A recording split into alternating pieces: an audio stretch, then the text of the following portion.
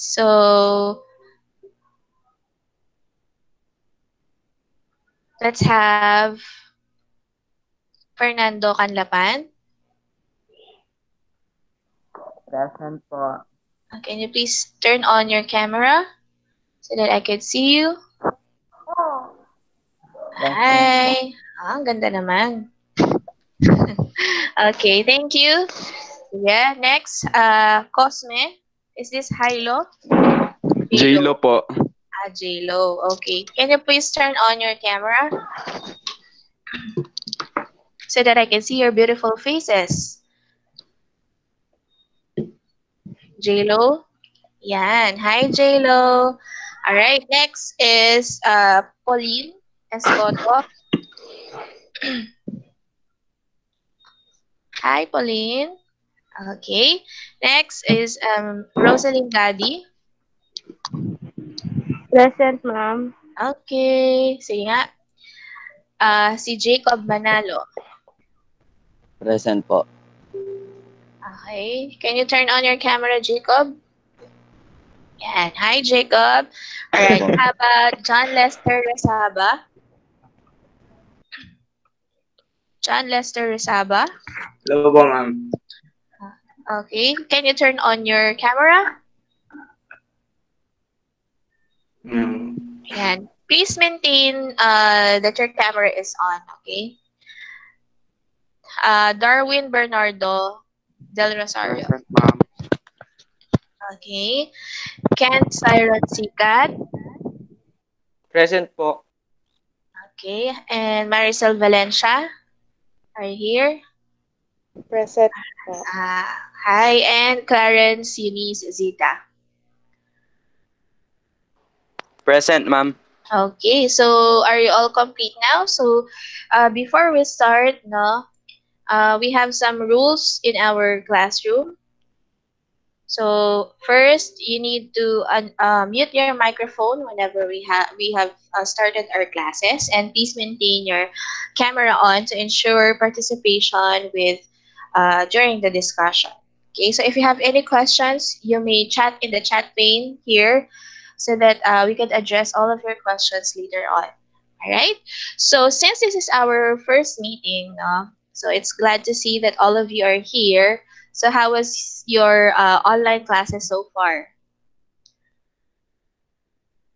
Did you enjoy having classes with uh, your with your teachers, Sir RC, Ma'am Juraika? Kamusta? Sige, anyone can answer. Magkamustahan muna tayo before we start since this is our first day.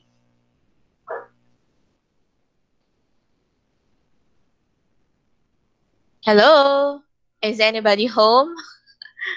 Can you please turn on your cameras? I cannot see your beautiful faces. Turn on your cameras, please.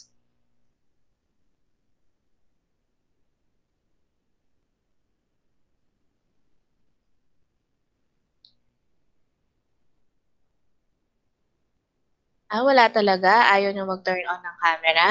O sige, tatapusin na natin to class. Ah, ano, paki-turn on ng mga cameras. Ayaw talaga? O sige, ayan. Buti pa si John Lester. Sige, may plus 5. O, ayan. Tignan nyo, narinig nyo lang yung plus 5. Nag-turn on ng cameras. Okay, ayan. So, lahat tayo may plus 5, ha? Yung mga mag-on. Okay.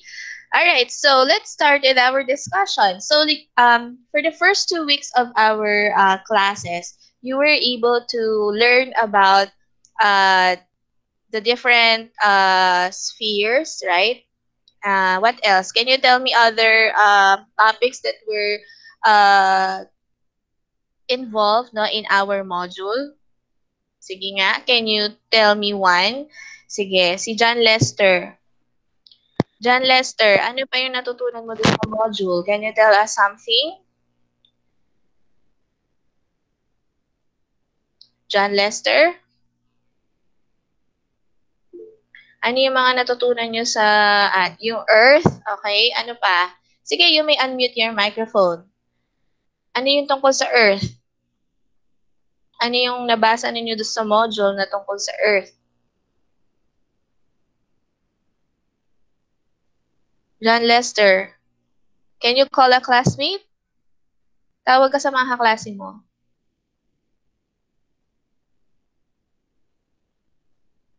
Jacob. Okay, Jacob. Okay, aside sa Earth, ano pa yung natutunan natin sa first two weeks? Recap lang tayo. Jacob, naka-mute ka pa, ha? Unmute your microphone. Ano pa yung natutunan mo sa ano, Earth, Earth and Life? Yung module 1 is all about Earth, right? How about the module 2?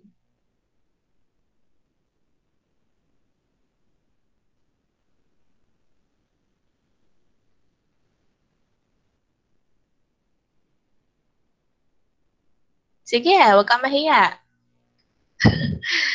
Nakikita ko may naiisip ka, nahihiya ka lang sabihin. Ano? Living things? O, sige, ano pa? O, sige, Jacob, call another classmate. Sige, tawag ka ng kaklase mo. Pwedeng mag-share ah, si J-Lo. J-Lo? Hello?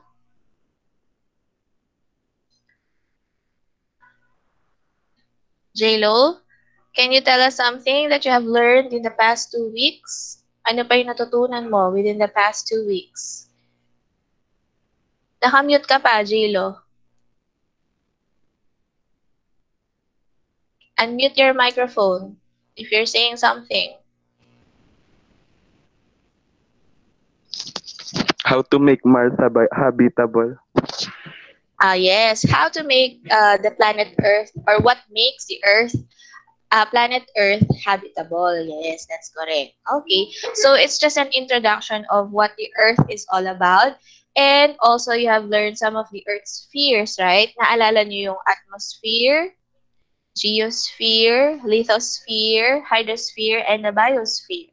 Yeah. So those are all the components or the characteristics of the Earth. So for today, we are going to learn something more specifically on the lithosphere. Which, these are all found in the lithosphere, which is the minerals. Okay. See, JLo, can you call a classmate? Can you tell us something about minerals? Pag naririnig niyo yung word na minerals, ano? Clarence po. Okay, Clarence. Hi, Clarence. Hi, ma'am. Okay. Anong ah, una mong naiisip when you hear the word mineral or minerals? Mm. Sige, kahit ano, like within the picture. Sige nga, describe mo yung nasa picture. Nakikita niyo ba yung screen ko? Yes, ma'am. Oo. Ayan. So, can you tell us something about that? Yung mga yung mga parang yaman sa kalikasan, ma'am. Yes, okay, very good. Yan, so parang yun yung mga ah, hidden gems, no? Na, na nakikita natin underneath the surface. That's what you can see here. These are the precious diamonds and stones.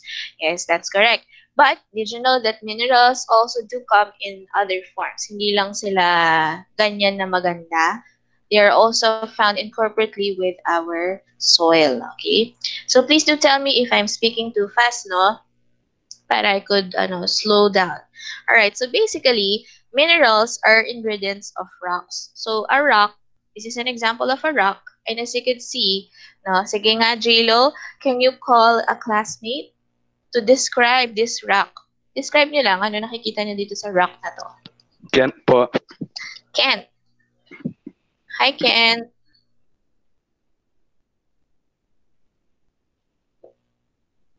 Kent? Are you there? Hello, Kent. Uh, can you please describe this rock? Anong napapansin mo sa bato na to? Anong meron sa kanya? Describe it in terms of a color or in terms of shape. Sige. Andiyan ba si Kent? Ba't di siya nagsasalita?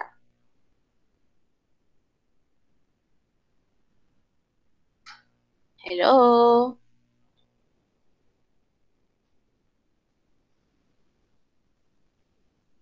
Wala si Kent. Mukhang kumain muna yata si Kent. O sige.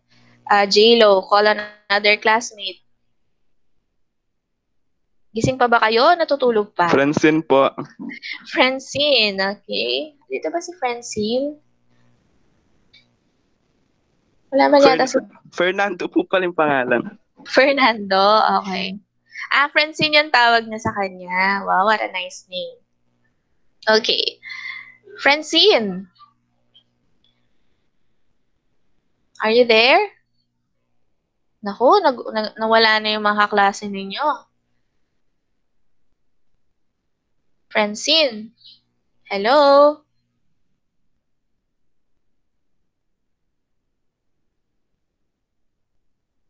Nako, J-Lo, sad to say, wala na namang, wala, wala yata si Francine. Tsaka si Kent. Sige pa, tawag ka pa.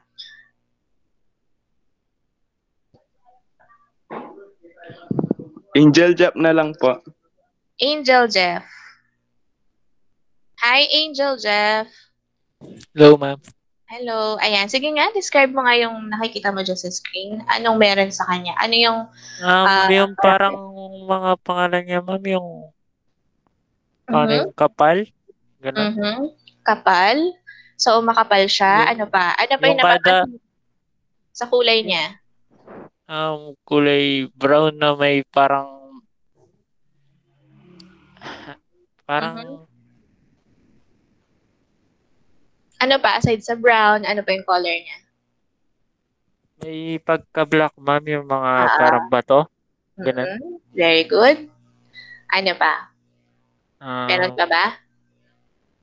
Yun lang, ma'am. Okay, thank you, Angel Jeff. That's correct. So, meron siyang iba-ibang color. Meron siyang black, may brown, may white. And as you can see, hindi siya solid na bato. Hindi siya solid color na bato. So that means that all of these um, specks of colors that you could see on this rock are the minerals that were incorporated in the rock. Kaya sinabi na, sinasabi natin na ang minerals ay ingredients of rocks. So, lahat ng mga rocks na nakikita ninyo, lalo na kapag may ganyan, may mga parang kumikinang-kinang, or may mga iba't ibang color, they are all the minerals that has been incorporated in the rock. So, you have the quartz, the biotite mica, the potassium feldspar. Yan.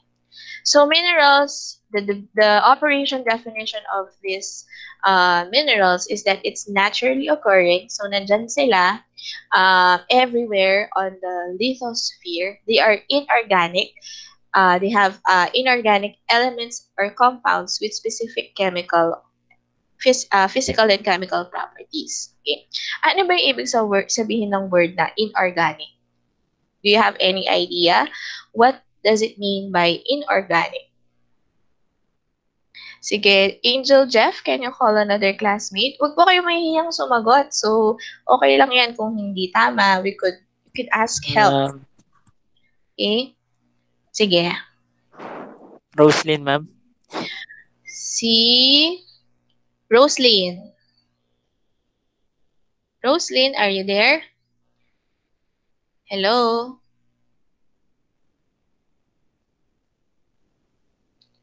Sige, anong ibig sabihin ng word na organic? Pag narinig niyo yung word na organic uh, food or organic vegetable, what does it mean?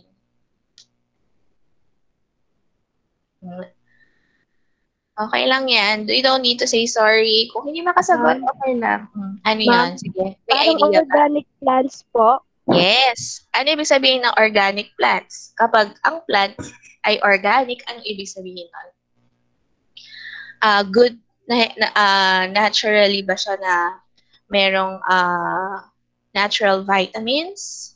Or nilagyan siya Vitamins, parang vitamins po. Okay, so they are all naturally um, incorporated with this um, living organic elements. Okay, pag sinabi kasing inorganic, ibig sabihin walang buhay or hindi kasama sa mga living things. When we say organic, yun yung may mga um, remnants ng mga living organisms. Okay, so since these minerals do not contain living matter, they are all inorganic. That's why you can see that they are perfectly arranged in its uh, own bonds. Okay? Thank you very much um, for answering that. So let's move on to the next one.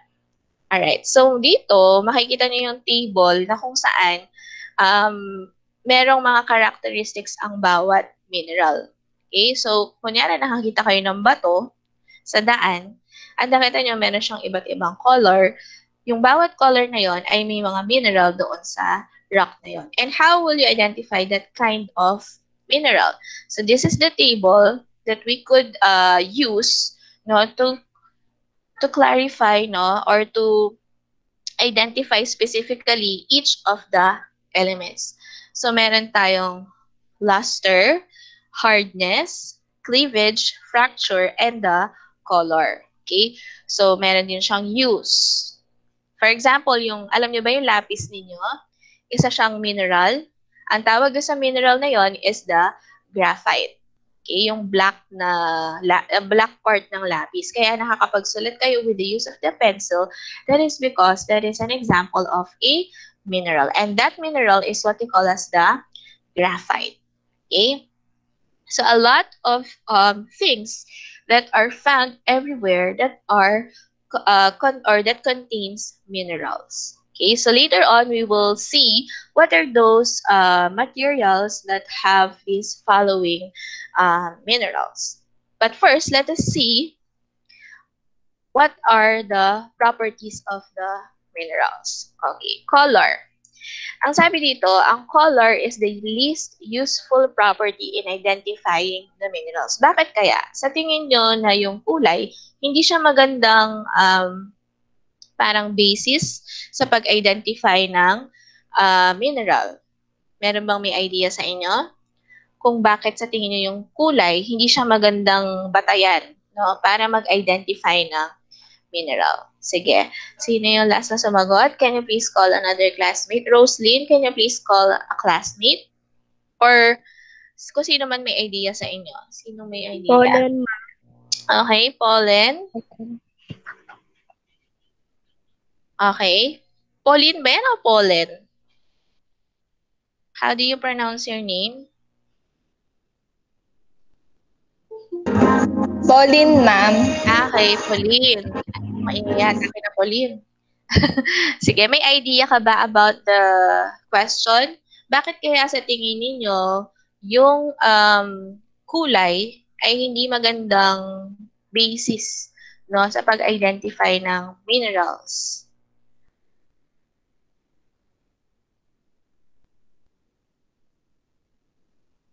Do you have an idea?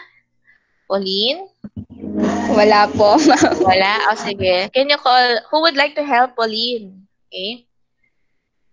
Sino sa inyo ang may idea kung bakit hindi useful ang color as a uh, a- an identifier? May guess ba kayo? Ah, sige. Pauline, can you call another classmate?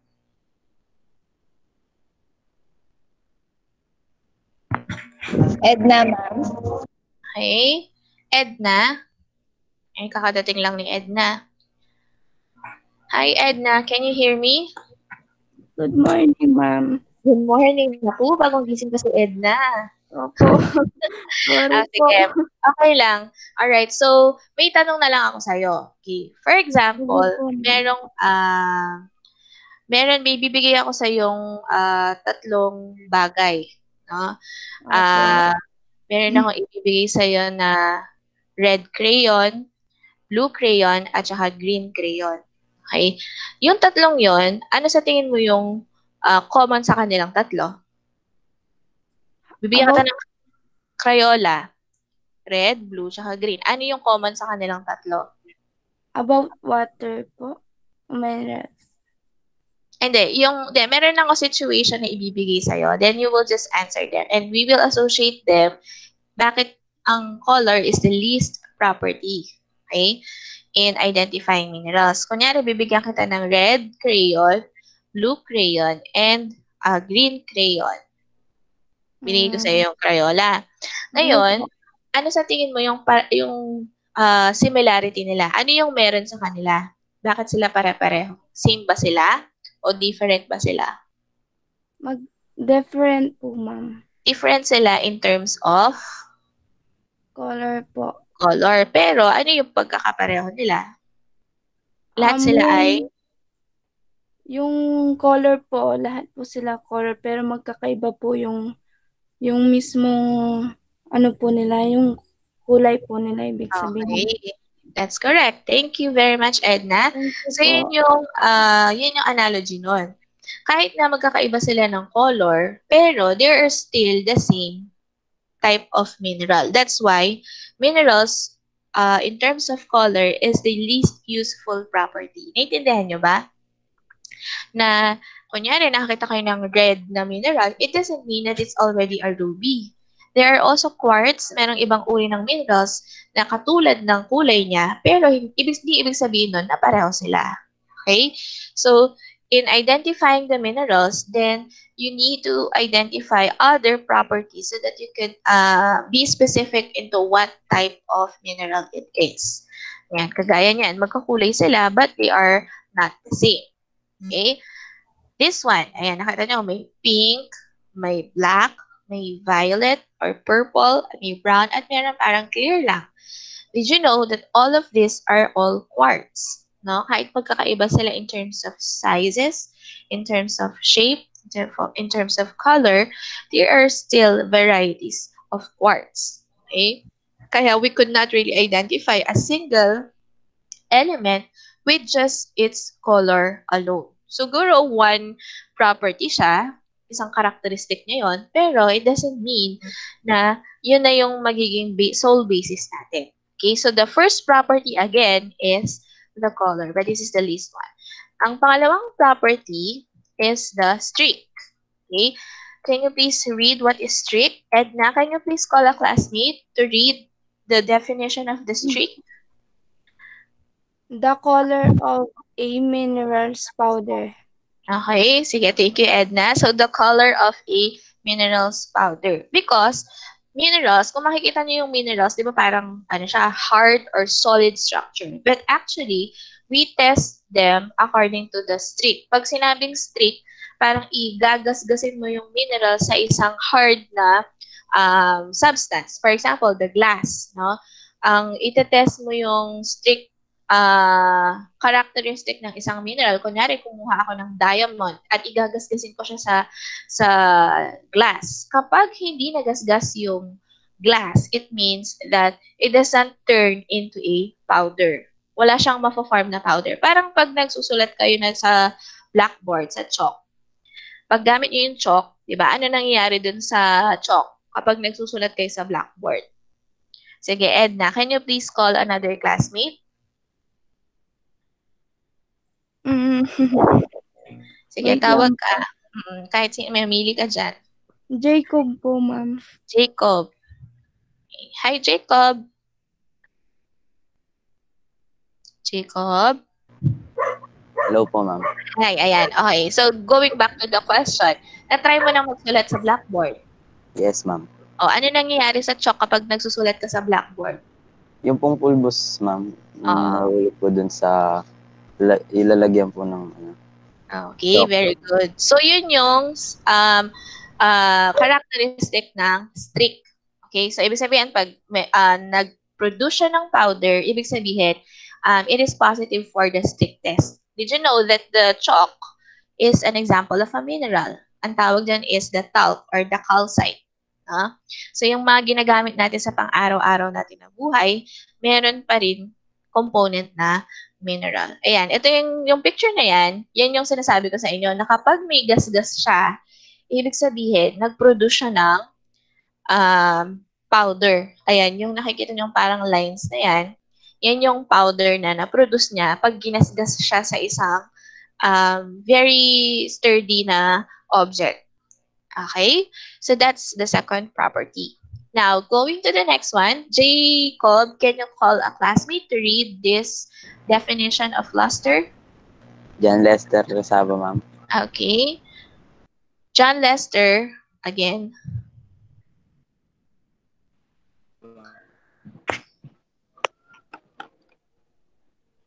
How the mineral, mineral surface reflects light.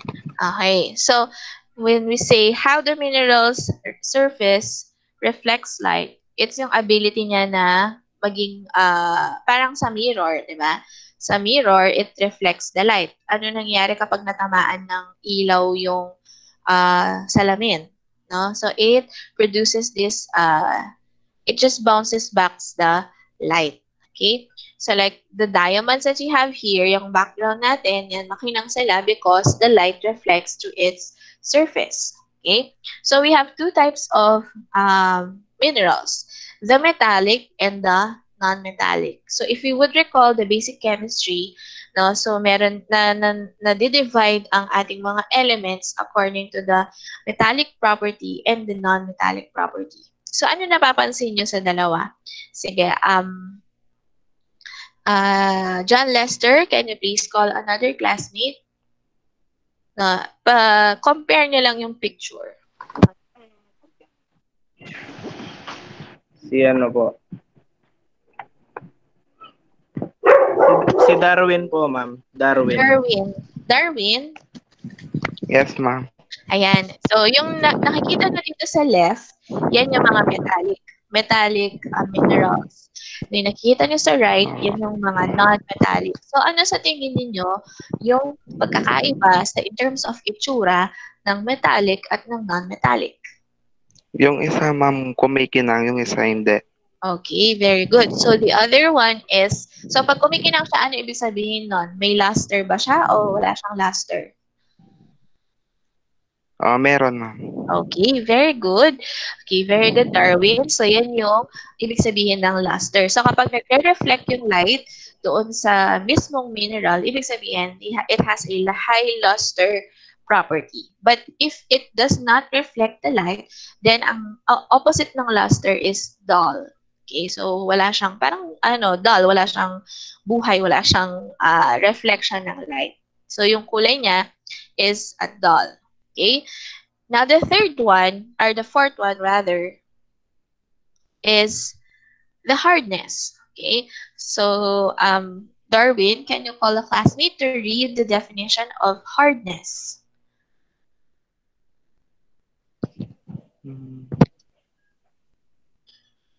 J-Lo, ma'am. Okay, J-Lo. Hardness, the ability of mineral to resist being scratched. Okay. So, it's the ability of the mineral being scratched. So, this hardness is also similar to, ano, anong pagkakapareho niya sa ibang property? Doon sa, discuss natin kanina, which is the streak. Okay, very good. Uh, so, yun yung, um, pagka na-scratch siya, ibig sabihin, yan, if mineral A can scratch mineral B, what does the, the what does that tell us about the relative hardness of each mineral? So kung sino yung nas, na-scratch or sino yung nag-produce ng powder, then it means na yun yung um, hindi uh, hard, no? soft mineral, softer mineral siya compared dun sa kung saan ka nag-scratch. Diba? Kunyari, nag-scratch ka ng uh, glass, in-scratch mo yung talc or yung chalk, nag-produce siya ng powder. Yung chalk, yung malambot, ito yung hard, yung glass. Okay? So that is one characteristic. Okay? So most hardness scale, no? So yung um, scientist na si Mo ay nag uh, nagkaroon siya ng isang parang uh, test, no, to to ensure or to to identify the hardness of each element. So pag 1 ang value niya, ibig sabihin it's the softest among all of these elements. And the hardest would be the diamond. Okay? So an example of the talc yung talc, yung powder, yung pulbos na ginagamit natin sa face natin. Di ba yung pulbos, ano siya, malambot siya? Di ba? Pag nilagay mo siya sa mukha mo, parang uh, feeling mo yung mukha mo ang lambot-lambot or ang smooth-smooth. That is because that mineral is the powder that has the very softest uh, scale in all of them. While the, the hardest one is the diamond. Di ba? Kaya mahal ang diamond kasi it it really takes a long time before it would be formed.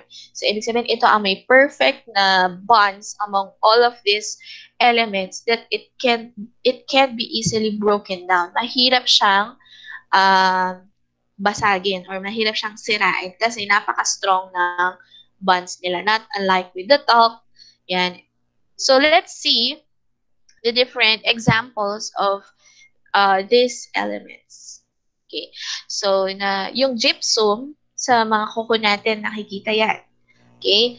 Ang calcite, no, pwede siya sa mga barya. Ang fluoride is are found in our toothpaste. No, yung may mga fluoride. Apatite are found in the knife blades or window glass. Feldspar sa mga steel files, sa mga um, windows. Quartz, topaz, corundum, and diamonds, these are the precious gems and stones that are used for sa mga singsing, no, sa mga uh, jewelries. Yan. So, yan yung mga ma- mahal na na uri ng minerals. Okay? So, the fifth one is the fracture or cleavage. Okay. So, who was the last to read? Can you please call a classmate? J-Lo, can you please call another classmate?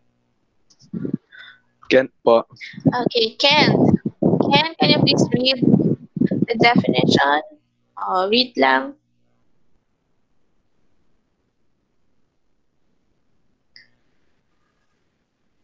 Ken? Ayan. Mineral breaks unevenly or irregularly. Okay, and then the cleavage. Sige, basahin mo na rin yung cleavage.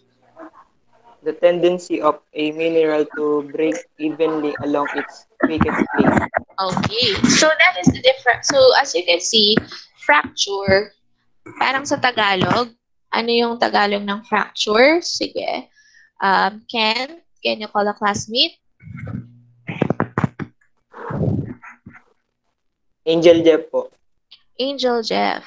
Okay. Angel Jeff. Okay, what do you think is uh, yung Tagalog ng fracture? Ano yung Tagalog ng fracture? Um, Or ano Oh. ibig sabihin ng fracture? Pag na-fracture yung buto, ano ibig sabihin nun? ah, mas masisira, ma'am, yung, Oo. Masisira. Okay. yung Or, parang magka, magka-crack ganun, ma'am. oo, very good. So, magkakaroon ng crack or mababali. Thank you very much, Angel Jeff. So, similar with the the minerals, the minerals do also have that kind of um, properties. So, same as with the hardness. Parang sa hardness din yan. Kapag ang ang mineral ay di nagpa-produce ng ng powder, it means that they do not have the capability to have to be broken down um, immediately. But the difference between the fracture and the cleavage is that in the fracture, kapag sinira nila yung isang mineral, ma madudurog siya into uneven or hindi pantay-pantay na pieces. But when in, in terms of cleavage, pag sinira nila yan, automatic ay maghahati-hati siya sa equal uh, parts okay, along its weakest plane. So, yun yung difference ng fracture tsaka ng cleavage. So, sa pag-fracture, uneven ang kanyang um, product pieces, pero sa cleavage, even. Okay, so most of the elements that are the hardest usually just um, shows cleavage. Pero yung mga talagang madali, yung mga malalambot, like yung mga talc, they could be easily broken down in unevenly pieces, then fracture ang kanilang property. Okay? So, usually yung may mga parang geometric size or geometric shapes, sila yung may mga cleavage. Pero yung mga irregular ang kanilang shape, na ang bonds nila ay hindi uh, strong enough no to to hold a certain uh, mineral then it would easily have this fracture or easily broken down. Okay? So yan. These are examples of these um, elements that could uh, have the fracture so the fluoride the halite and the calcite okay the sixth one is the crystal form okay angel can you please call a classmate to read the definition? Maricel, ma'am. Okay, see Maricel. Maricel. Maricel? Yes, ma'am. Okay, can you please read the definition? Some minerals tend to form crystals that aid in the identification of the mineral. Okay. So, minerals uh, usually form crystals. Okay, thank you for reading that. Okay, so can you name, do you think ba, tinry nyo na bang tignan yung asin sa malapitan? Tinry nyo na siyang uh, i-magnifying glass or di, di nyo ba napapansin yung itsura ng salt? Either rock salt or um, iodized salt. Sige, Maricel, can you call a classmate?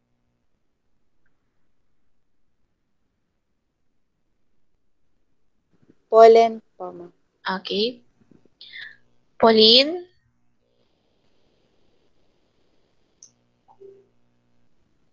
Pauline? Okay. Ano yung shape ng ah asin?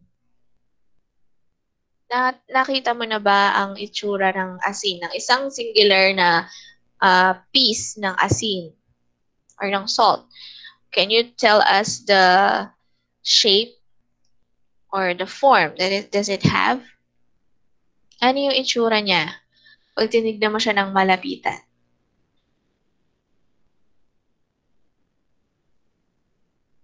Kagaya ba siya niyan? Bilog? Maliit? Ano ba? Kagaya ba siya nito? Yung nakikita mo sa screen, parang may mga um, sulok-sulok na crystals. Meron ba siyang crystals? Siguro sa iodized salt, bilog. Pero yung mga rock salt, sa rock salt ba ay ah meron siyang mga crystals, Pauline? Yes, okay.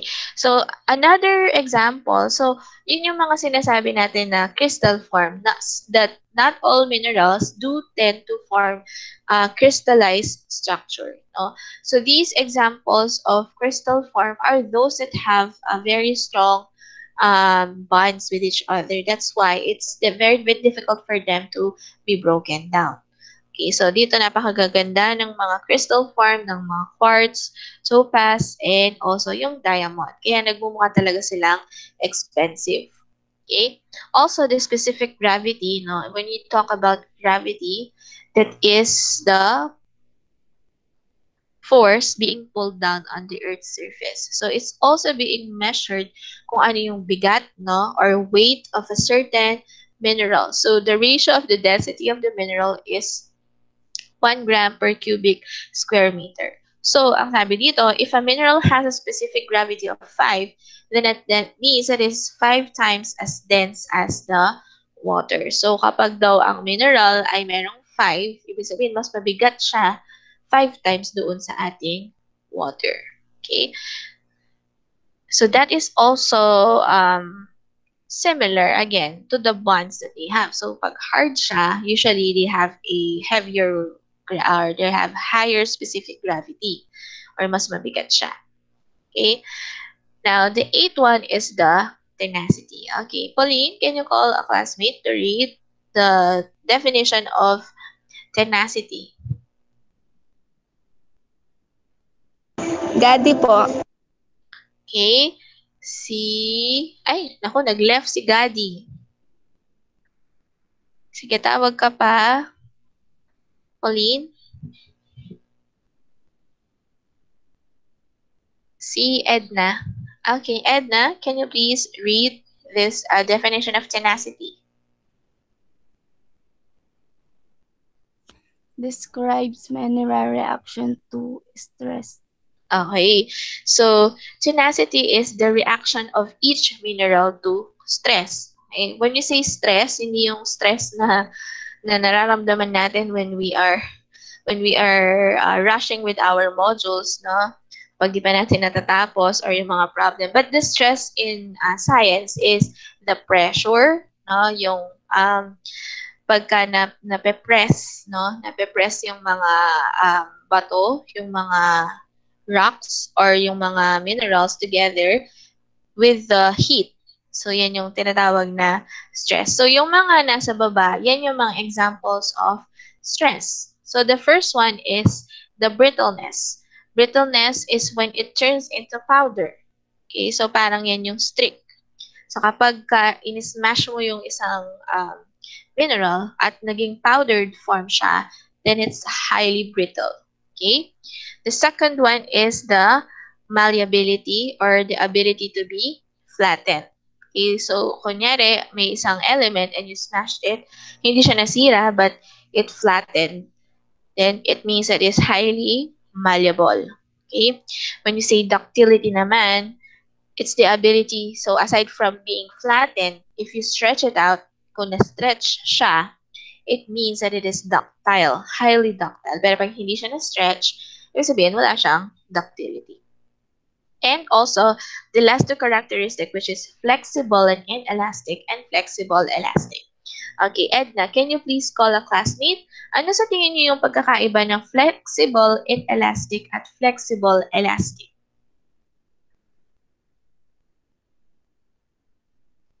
Edna?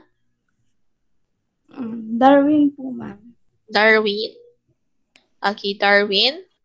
What do you think is the difference of these two? Yan, based Ano, ma'am? definition niya. Ano pagkakaiba ng flexible, inelastic sa flexible, elastic?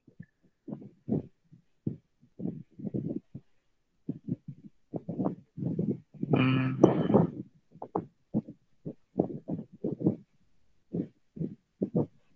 Ano ibig sabihin ng elastic? Sinabing elastic ang isang bagay. Kunyari, yung rubber band. Ang rubber band, kapag in-stretch mo siya, ano mangyayari sa kanya? ahaba, ma'am. Hahaba siya. Tapos, pag binitawan mo, ano mangyayari? Babalik sa kung Okay, very good. Babalik Babalik sa siya dati. sa original. dati. Ah, Mm, sa original position. Pero, kunyari, yung plastic, hinila mo, yung plastic bag, hinila mo siya, tapos binitawan mo, ano mangyayari? ano na, ma'am? Pwedeng mapunit o kaya hindi na babalik sa dati. Okay, very good. That is now the inelastic. Okay? So, yun yung pagkakaiba ng elastic tsaka ng inelastic. So, kapag flexible siya, yes, nasa-stretch mo yung plastic, pero hindi na siya babalik sa original position. Pero yung rubber band, pag hinila mo siya opposite side, babalik pa rin siya pag nirelease mo in its original position. So, there are minerals that have this um, properties that they are flexible but they are inelastic, flexible and elastic. So those are the stress that uh, could be tested in a mineral and that is what we call as the tenacity. Okay? So, uh, sorry, last one is the sectility. So when you say sectility, it's the ability of the minerals to be sliced by a knife. Okay, so yung mga, parang similar din yan sa hardness and sa um, br- brittleness and also with the luster. So kapag ka hindi mo siya nahihiwa with the knife, then it's it doesn't have a sectility property. Okay? So a mineral has high uh, internal arrangement of its atoms. So nafo-form sila kaya mayroon silang kanya-kanyang shapes, patterns, colors. That is because of the arrangement of the atoms. Like for example, the silicate minerals do uh, contain silicon and oxygen. So these silicate minerals are often uh, used in uh, semiconductors. Like this could be found in machines or in computers. No? So yan yung mga um, basic uh, minerals that are combined no, together in order to form a new machine or gadget. Okay, so um, I will be showing you um, examples of minerals that can be found in your house or in our houses. Okay. Can you see my screen? Okay. Ayan. For example, the computer. So, ang computer, nakikita niyo ba or maliit yung aking screen? Zoom natin. Ayan. So, ang computer daw has the following um, elements. You have the wolframite, the copper, the silver, and the quartz. So, even if they are uh, you cannot really see them um, individually, but they are all found incorporately with the um, computer. Also with cosmetics, yung mga lipstick. Yan. Ang lipstick, meron daw siyang talc, yan, kagaya ng sa face powder. Kasi mga soft minerals ang mga yan. Meron siyang muscovite and hematite for the pigment or the color. Kaya red or mayroong mga hues of other uh, of uh, yung mga sa kunyari sa violet, yan, meron mga bismuth and mga barite. Okay? So, yun yung mga common um, materials that can be found in your home. Yan, kagaya ng pencil. Itong part na to is the graphite. Okay? Or pencil lead. Okay? So, those are examples of the minerals that you can find at home. Now, do you think there is an importance to how minerals are being identified? Bakit kaya kailangan natin i-identify ang mga minerals na to? What do you think is the importance of um, identifying these minerals? Bakit pa natin kailangang alamin ang mga to? Ano ba yung use nila sa atin? Darwin, can you please call a classmate? Lester, ma'am. Okay, Lester.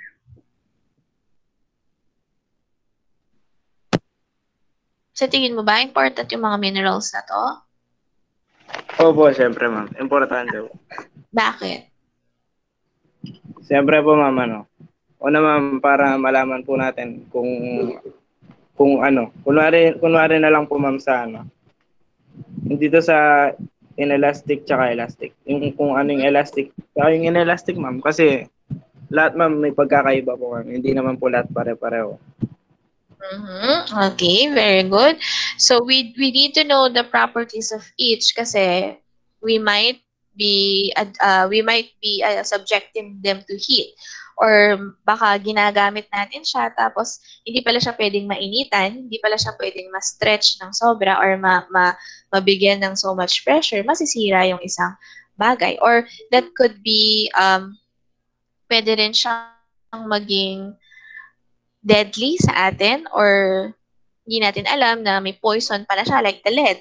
So we need to know the properties of each so that we know how to use all of them properly. And also, pwede rin tayo makapag-innovate ng mga bagay out of these minerals. But did you know that marami pang minerals ang hindi pa na-discover? So, according to the the, the US Mineral Federation, merong 2,500 minerals ang present sa Earth. Pero, marami pa sa kanila, most of them are rare and occurring in abundance and most of them are not yet identified. Okay, so, malay nyo, in the near future, kung gusto nyo maging scientist, magkaroon kayo ng chance na makadiscover ng panibagong mineral that could be used, be, be of uh, use with humans, like this one. So, itong mga to, yung mga bagay na nakikita nyo sa bahay ninyo, yung carpet ninyo, yung salamin ninyo, relo, yan. May mga minerals yung mga yan. Even the food that we eat, no, even if they are inorganic, no, they could be still used as uh, minerals in our body. Di ba? Ang katawan natin, kailangan ng vitamins and at the same time, the minerals to better absorb all of these vitamins. Okay? So, that ends our lesson. So, do you have any questions, HE?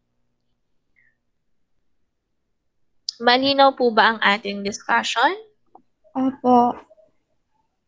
Yes. Okay, thank you for uh, listening. So, I have posted already. Did you see my uh, post in our Google Classroom? Nakita niyo na ba? Kahapon ko pa siya pinost. Nakita niyo na po. ba?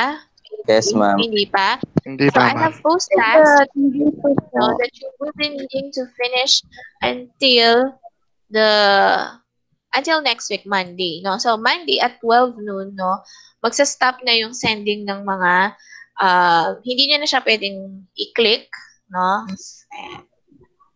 hindi niya na siya pwedeng i-send no hindi niya na pwedeng magawa so as early as today you still have the time So our schedule is uh, Tuesday, Thursday, uh, Tuesday and Friday, right? So hanggang Friday morning, you could still finish all of this um, material.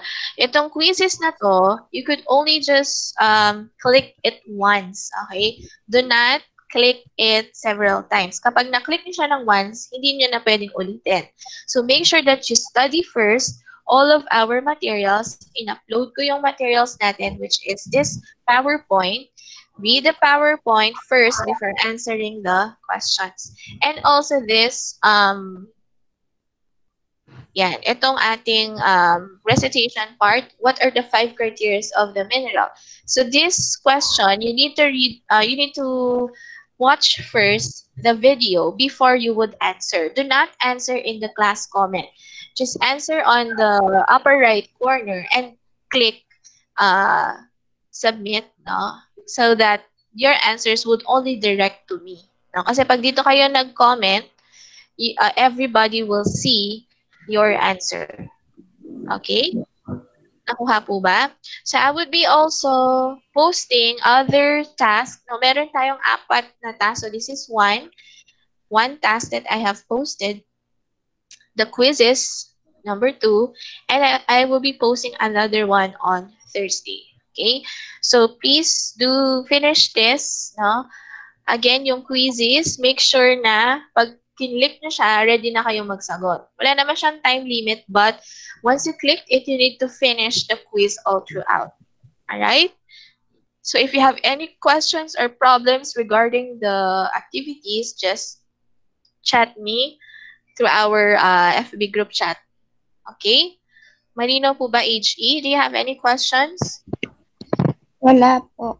Okay, so please next time, no, make sure to be on time in our class para maabutan po natin yung ating uh, discussion because uh, I will be only discussing this uh, lesson part every first meeting. So since our first meeting of the week is Tuesday, so that will be 7.30 to 8.30. And the rest of the times will be given for you to answer the activities that were posted in our Google Classroom. Okay? Ma'am, paano po kasi i-submit, ma'am? Ano po? Paano po kasi i-submit, ma'am? Isasubmit yung alin? Yung kapag isasend na po yung sagot dito. Ayun, dyan Ah, po. Paano po dyan. kasi, ma'am? Hindi. Uh, Sige, magpapakita ko ng example kung paano nyo sasagutin yung question para hindi nakikita ng mga klase ninyo yung sagot. Pero ah, nakapag-start na ba kayo sa ibang classes ng ah, Google Classroom? Nakapag-start na ba kayong magsagot or hindi pa? This is your first time. Hindi pa po. Ah, okay. pero- Alright. Sige, ito. Pa, pakita ko sa inyo para minsan ng instruction. Okay, so I will be using a different account, no? Para student account to.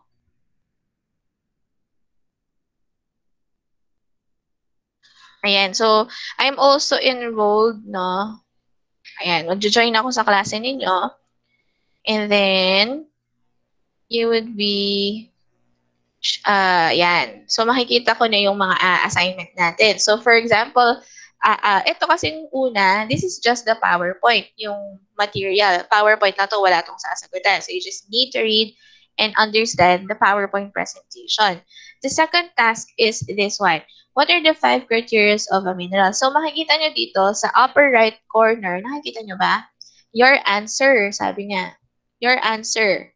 So, magta-type ka dyan ng sagot mo and then you would click turn in. So, for example, ang sagot ko is uh, luster. Kunyari lang to ha, pero hindi ito yung sagot. Kasi kailangan nyo munang panoorin yung video bago nyo masagutan yung tanong. Then you just click turn in. So, won't be able to change. So, once you have turned in the answer, you are not uh, allowed to resubmit again and change your answer. So, one time um, submission of answer siya. Okay? So, turn in. Kapag na-turn in na siya, na-pass mo na yung sagot mo. Okay? So, lilitaw na siya sa akin dito na nasagutan na siya. Okay? So, uh, yan. So, meron ng isang nagsagot. Ako yon Okay? So, ganun lang yung sasagutan ninyo. You just need to remember, you need to turn in your answers every time that you are going to send it via Google Classroom. The other one naman is the quizzes. Etong quizzes na to. Again, one time pindot lang to. Kapag napindot nyo to, hindi nyo na pwedeng ulitin kasi this is your quiz part. So if I will be clicking this, you'll be linked into a another um, account. Yan. Accept, accept nyo lang. Nakalink naman yung Google Classroom natin sa quizzes. So, ganyan siya.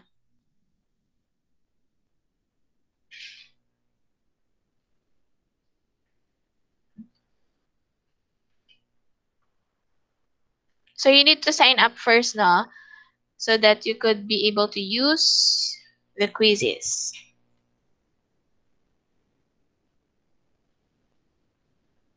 Kunyari, ganito yung birthday natin. Grade 11. Yan. So, mag enter ka sa quizzes na yan. Start quiz nyo lang siya. So, hindi, pag hindi pa kayo part ng quizzes, please do let me uh, inform nyo ako para mabigyan ko kayo ng assistance no, para sa inyong uh, quizzes.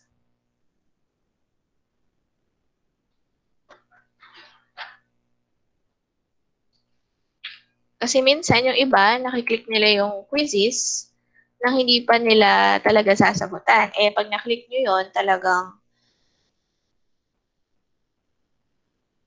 hindi na kayo pwedeng sumagot doon.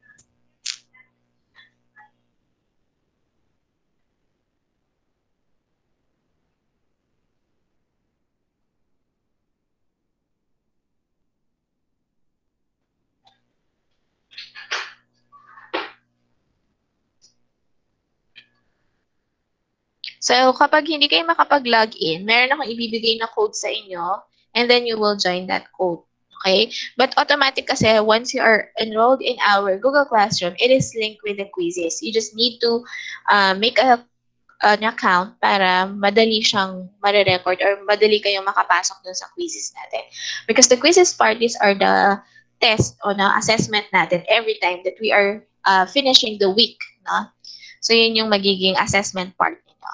Okay? So, malinaw po ba? Yes, ma'am. Okay. So, if it Yes, requires you to, um, to, ang tawag dito, attach a file, please read the instructions carefully before uh, submitting anything. Okay? So, that would be all. So, that um, all of the other tasks will be posted in our Google Classroom and uh, announcement on our FB group chat. So the rest of the week, we will meet again next Tuesday. Okay? So, again, thank you for your time. Sige, you may leave the room. Good day, Ay, ma'am. sorry, sorry. Ay, wait lang. Wait, wait, wait, wait, wait. Huwag mo na kayo magli-leave. I'm sorry. I forgot. You have your next class, right? Ma'am. Your next class is uh, Empowerment Technologies. So, si Sir uh, Jeffrey Patawaran. So, wag mo na kayo magli-leave dito sa meet na to. Ito na yung gagamitin niyo for our session. Okay? So, 5 ang oras natin is 9 8:36 na. 45. Ah, sige. 8 8:45. Hindi, 2 hours yung klase ko. Ah, hindi. Tapos na ako. So, yung next class niyo niyan would be, balik kayo dito ng 9.45. Tama? 8.45. Ah, magkaklase ka na. Okay? Ah, HE, do not leave, no? Pwede kayong mag-break muna. Balik kayo ng 8.45. No? Tapos si Sir Jeffrey Patawaran na yung susunod na magkaklase.